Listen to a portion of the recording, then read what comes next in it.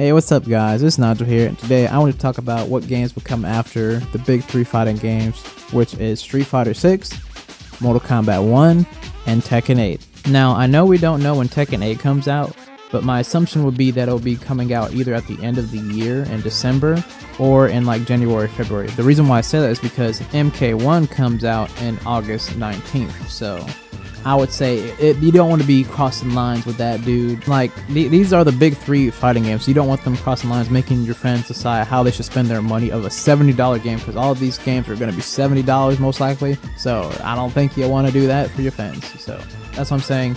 Next year in either February or it'll be um, this year in December.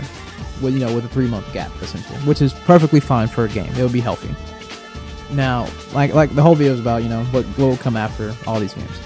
Now, essentially, I think what the next big big game would be, I think it would be actually Virtual Fighters 6 because there's been speculation and rumors. People have been talking behind the scene like, oh yeah, this big fighting game is gonna be coming out, and I remember Harada. He had a video like his Harada Bars video. I think I brought this up before that he was talking about some game that he doesn't want to clash with. I'm not sure if he was talking about MK, like uh, NetherRealm's giving the heads up, like, hey, this this game's coming out in this time period, or it could be Virtual Fighter. Because we did get a pretty much a teaser that it's happening, so I would think that would be the next game that they would show next year, and it would come out in 2024. Now they could show it actually e- during either Evo, which I think that would be a great place. People will be excited. Everybody's blood is pumping already to see other trailers and that's where we'll get mainly DLC stuff for uh, Street Fighter 6, and probably like uh, more like a preview thing for MK or something, something around those lines or whatever, and either a um, Tekken 8 trailer for a character or story or something. So that'd be a great time to also advocate like, hey, our game's coming out. So yeah, I think that's when we can expect to see that because there is um, a few games also come out that are fighting games that are coming out in 2023 that are you know not the big three. I think one of them is Granblue versus Rising because it said it was 2023, so I'm not sure when. It'd probably be like October or something for that update because it's kind of like a big overhaul update thing. That'd be the best guess in my opinion. But yeah, that's that's all I can see for 2024 for right now. Maybe Project L possibly.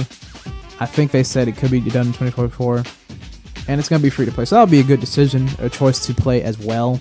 And another arena game that you could play too. I think they would bring that back, which would be MultiVersus. I could definitely see that coming back because they're kind of in their own hiatus phase, trying to polish the game, fix it up. Because they took all the feedback, because the game was not, it was kind of dying. So it's because it wasn't, to be fair, it wasn't fully released. But it, it, it's good that they did that, so you know they can get the feedback, and then they can create the best game they can possibly. So that's fine. So that those will be the games of next year. Tekken, possibly, like I said, Virtual Fighters, I can see that happening.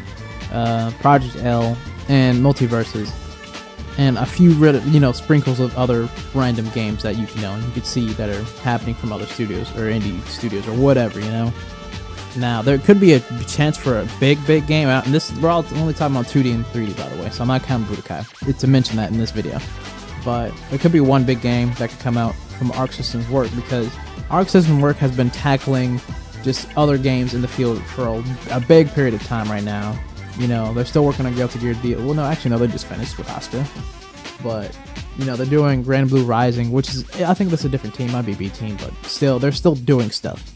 Now, there has been like rumors talking about a new anime fighting game that's big, like FighterZ, that could they, you know, make. And I believe it, they were either talking about Naruto or One Piece. I think it would definitely be Naruto only because Naruto has not had a fighting game like a traditional fighting game ever. It's only had, you know, the um, Arena Fighters, which would be, you know, Storm series, Clash of Ninja, and um, the original Storm, which I guess was technically 2D, but, you know, it's not a traditional fighter or whatever. But that's kind of really it for Naruto when it comes to those types of games. So it would be amazing to see that. And the only reason why I say not One Piece because, you know, the characters in that game are pretty big. They're, they're really tall. Hitbox would work properly. I mean, just look at Big Mom, look at Katakuri, nine feet tall characters. No, that they would get fuzzy like crazy. Like, no, no, no, no, no. We're not saying that. So it would definitely be Naruto. I think I can see that, and I like I said, I think I remember them talking about in the scene, if they were make a big fighting game, anime wise, it would definitely be Naruto. That makes the most sense to me. And I can see Arc System work, like working behind the scenes, not saying anything yet, just cooking it up, seeing if they can do it or whatever or whatnot, and making the game as we speak right now because they don't really have anything big coming up. They're done with Guilty Gear Strive DLC, and there is going to be season three. They pretty much confirmed that. But you know what? What else? You know, you have Granblue. Um, I think they're done with BlazBlue. I believe. I think. So, what, what else do they have? You know, they gotta they gotta keep making that money. And their biggest game, which is Dragon Dragon Ball FighterZ, they don't. I mean, they're updating it to get rollback, but that's going to take some time. So, I would imagine like the main team would be working on um, a new IP at this point, in my opinion.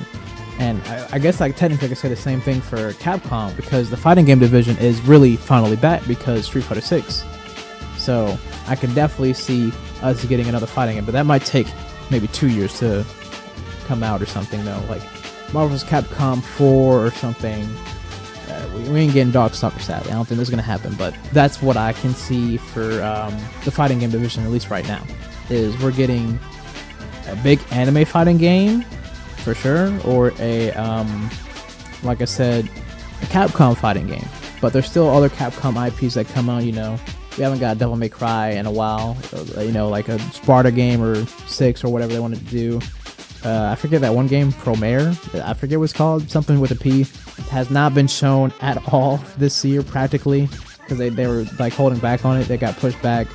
So a lot of a lot of things could happen next year to uh, 2025. I'm hoping for the best, honestly. I hope it's not a drought because some I remember the droughts when there were like no fighting games for a minute, and I'm just sitting like, dude, there's nothing to play. Even though there was, but it was just like niche or some games were not good. Like Dead or Alive 6 was not good.